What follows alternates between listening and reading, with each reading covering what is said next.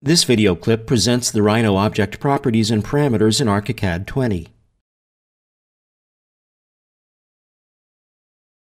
Each imported Rhino element becomes a separate ArchiCAD GSM object with the file name prefix of Rhino.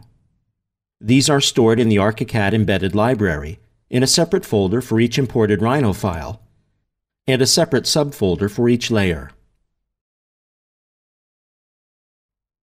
Depending on whether the bake curved geometry option at import is checked or unchecked, the Rhino's import object settings have specific parameters. Let's first see an example of importing a Rhino's model with the bake curved geometries option unchecked. To do this, let's use the merge command. Select the target 3DM Rhino file, activate the settings, and keep the checkbox unchecked and execute the import. Note, the unchecked option allows us to import and then readjust the NURBS-based geometries in ArchiCAD. Select the placed object and open its settings dialog. You can use the Rhino Import Object Settings panel of Object Settings to set its 2D and 3D appearances. Use the Segmentation pop-up in the Representation tab page to adjust the smoothness of a selected curved object.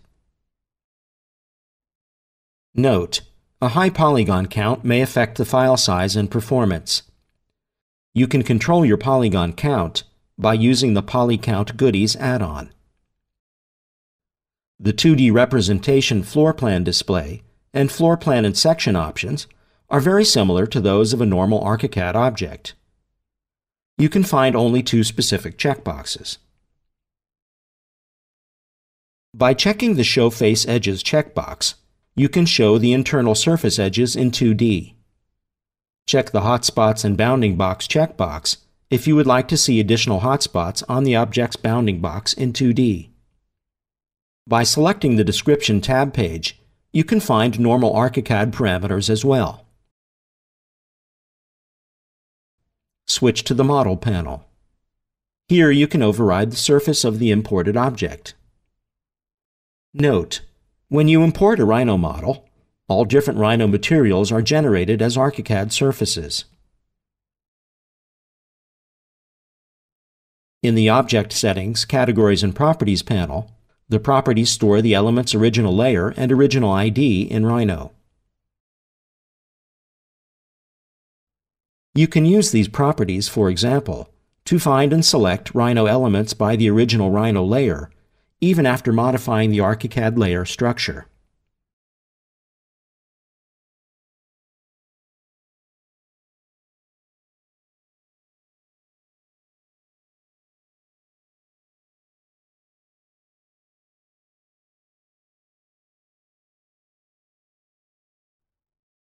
Now let's see an example for importing a Rhino model with the Bake Curve Geometry option checked. To do this, Let's also use the merge import method. Select the target 3DM Rhino file and check the checkbox in the Options dialog.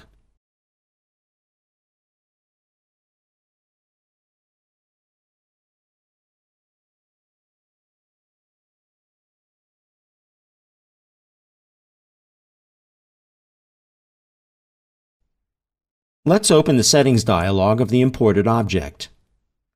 Here you can see that all properties and parameters are almost the same.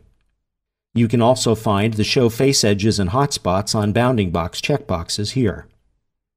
Note: The segmentation option is not available here, so you cannot modify the level of the segmentation. For 3D representation, you can use the following options. Check the Smooth Edges checkbox to hide edges for a smooth surface in 3D. By checking the Show Face Edges checkbox, you can show internal surface edges in 3D. This is not available if Smooth Edges is turned on. In addition, check the Show Hotlines checkbox if you want to snap to edge hotlines to facilitate selection. By importing a Rhino 3D model, Rhino elements become ArchiCAD GSM objects with variable representation and adjustable segmentation.